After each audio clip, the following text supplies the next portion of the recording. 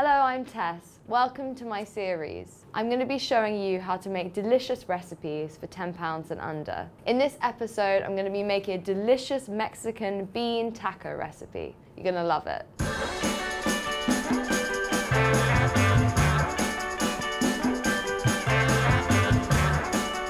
So the first thing I'm going to do is preheat my oven to 160 degrees.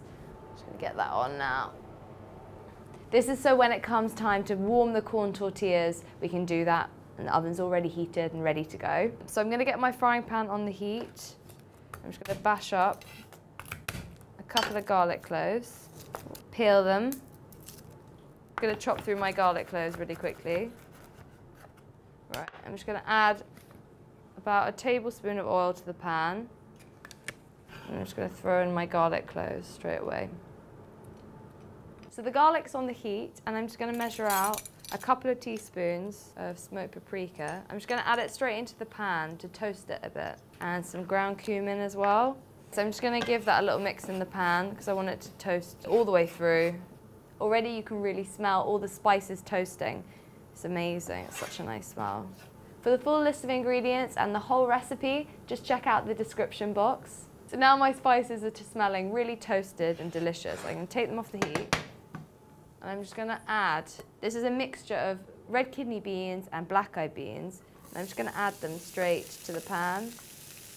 And to that, I'm just gonna add a dash of water, a couple of tablespoons. This is just to halt the cooking of the garlic, slow it down, and give the beans a chance to heat up without them becoming fried.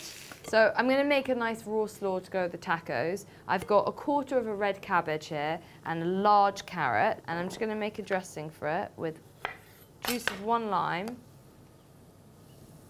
and a few tablespoons of olive oil. Just drizzle in like that. Just going to give that a little mix up. And I'm going to season it generously with some pepper and some fresh sea salt. Go. Okay, right, so the coleslaw's done. Now, the beans are definitely nicely heated through. Yeah, you can see they're starting to break down now, which is exactly what we want.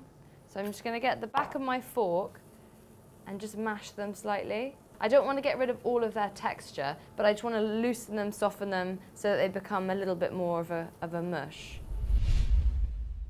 I'm just going to pop my corn tortillas in the oven, which I've preheated, just so they warm through a little bit. While the corn tortillas are still warming in the oven, we've got my beans ready to go. I'm just going to finish off the salad. Just going to add some spring onions, just two spring onions chopped up, and a small handful of coriander, a couple of tablespoons. Just give that a little mix in. This is such a nice, cheap, kind of colourful little salad number. It can go with anything. You could serve it alongside some grilled meat. It doesn't have to be used in a taco. It just adds a really nice crunch. So that's done. So I'm just going to grab my corn tortillas out of the oven. They're nice and hot now, but they're not quite toasted. And now, just to arrange the tacos. So I'm going to begin with a little bit of the bean mixture which I'm going to lay down. I have to say it doesn't look that pretty, but when you taste it, you'll understand. And then some of the fresh coleslaw on top. And then I'm going to top it with a bit of feta cheese. This is about 100 grams of feta to divide between four portions. There we go. I just recommend you serve it with some fresh sour cream. And I really like the hot chipotle paste that they use in Mexico. It's kind of smoky, but it's very spicy. So if you're not so keen on spice, go easy on it, definitely. I'm just gonna finish making up the rest of this batch, but do tune in next time for some more episodes in my series.